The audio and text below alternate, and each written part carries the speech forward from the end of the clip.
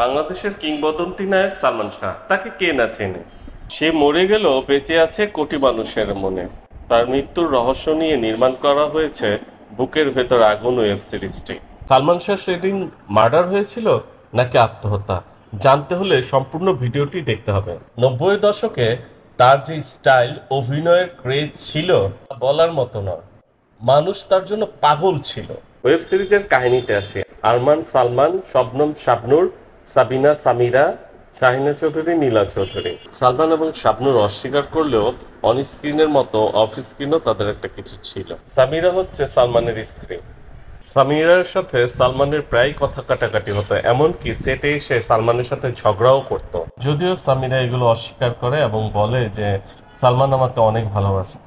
সামিরা বলে, মৃত্যুর দিন সালমান না খেয়েই তাড়াতাড়ি করে শুটিং এ চলে যায়।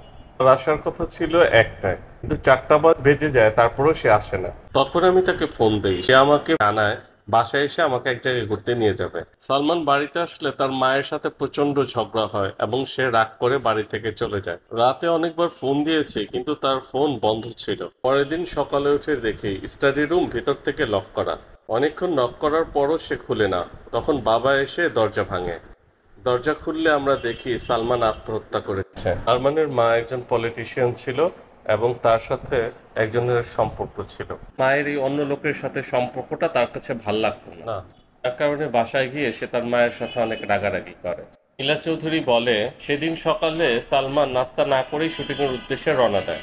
এরপর সে বাসায় ফিরে তিনটা চারটার দিকে। বাসায় এসে সামিরের সাথে তার প্রচণ্ড ঝগড়া হয়। সামিরা শাবনুরকে নিয়ে তার সাথে ঝগড়া করছিল। সামিরার সন্দেহ নায়িকা শাবনুরের সাথে তার সম্পর্ক আছে। তখন সালমান তাকে বলে, আজিজ মোহাম্মদ ভাইয়ের সাথে তোমার কি চলে? এরপর সালমান রেগে বাড়ি থেকে বের হয়ে যায়। চৌধুরী বলে, সালমানের মৃত্যুর জন্য চারজন দায়ী। শাবনুর, আজিজ মোহাম্মদ ভাই, ডন, সামিরা। সালমান সামিরার অ্যানিভার্সারিতে তার জন্য গিফট নিয়ে আসে। এক পর্যায়ে সালমান সামিরাকে জিজ্ঞেস করে, তুমি আমার কাছে কি চাও বলো? সামিরা তাকে বলে, আমি তোমার মতো অভিনয় করতে চাই। সামিরা অভিনয় করুক, এটা সালমান চাইতো না। সালমান সেটার উত্তর না দিয়ে বলে, বাইরের ওয়েদারটা খুব ভালো, চলো লং ড্রাইভে যাই। তার ইচ্ছাকে সালমান প্রাধান্য দেয় না। এটা সামিরার কাছে খুব খারাপ লাগে। আজিজ মোহাম্মদ ভাই নামে একজন প্রডিউসার ছিল। সে অনেক পাওয়ারফুল ব্যক্তি ছিল। আজিজ মোহাম্মদ ভাইয়ের সাথে সামিরার একটি পার্টিতে পরিচয় হয়। তার মৃত্যুর দিন শুটিং এসে সালমান খুব বাজে মেজাজে ছিল। পোস্টমর্টম রিপোর্ট যিনি করেছিলেন, তার কাছ থেকে জানা যায় যে তার অত কিছু মনে নেই। তবে ক্রাইম সিনে একটা রিভলভার তিনি পেয়েছিলেন। এটা মনে আছে। সে বলে রিভলভার থাকতে একটা মানুষ কেন কলায় দড়ি দিয়ে মরবে? সালমান একবার পার্টিতে যেয়ে দেখে, আজিজ মোহাম্মদ ভাই আমিরার গায়ে বারবার টাচ করতেছিল। যেটা দেখে সে খুব রেগে যায় এবং আজিজ মোহাম্মদ ভাইকে যে একটা খুশি মারে, তারপর সামিরাকে নিয়ে চলে যায়।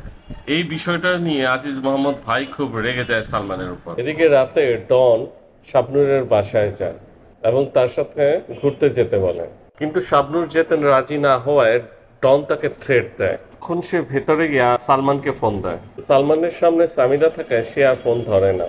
যার কারণে সে বাধ্য হয়ে ডনের সাথে বাইরে বের হয়। এর কিছুক্ষণ পর সালমান শাবনুরকে ফোন দেয়। কিন্তু সে ফোনে পাচ্ছিল না। তখন শাবনুরের কাজের মেয়ের কাছে ফোন দিয়ে জানতে পারে শাবনুর ডনের সাথে বাইরে বেরিয়েছে। এটা শোনার পর সালমান শাবনুরকে আবারও ফোন দেয়। তখন ডন শাবনুরের কাছ থেকে ফোনটি নিয়ে কেটে দেয়। এতে সালমান প্রচণ্ড রেগে যায় এবং রাগের বসে তার ফোনটি ভেঙে ফেলে। আজিজ মোহাম্মদ ডনকে ফোন দিয়ে বলে, কাজটা আজকের মধ্যেই শেষ করতে হবে। ডনও এতে রাজি হয়ে যায়। পরবর্তীতে পুলিশ এই মামলার সন্দেহজনক খুনিকে ধরে ফেলে এবং সে জানায়, তাকে মারার জন্য পাঠিয়েছিল আজিজ মোহাম্মদ ভাই। খুনি জানায়, সেদিন সে ভেতরে ঢুকে সিঁড়ি দিয়ে ছাদে যায়। সেখানে যাওয়ার পর একটা অদ্ভুত ঘটনা ঘটছে বলে সে জানায়। এই কথা বলেই সে হার্ট অ্যাটাক করে পড়ে যায়। শেষ পর্যন্ত রহস্যটি আমরা আর জানতে পারি না, কারণ খুনি মারা যায়। সালমানের কাছে তার ভক্তের প্রশ্ন, এটা কি আত্মহত্যা নাকি খুন? সালমানের উত্তর, এদেশের মানুষের কাছে আমি বেঁচে আছি একটা অমীমাংসিত গল্প হয়ে। আসল গল্পটি জেনে গেলে ওরা আমাকে হয়তো ভুলে যাবে। তাই কিছু রহস্য না জানাই ভালো। এই গল্পটা একটা ফিকশন। ডিরেক্টরের নিজের থিওরি অনুযায়ী গল্পটি বানিয়েছেন। এটা শুধুই একটি কল্পকাহিনী।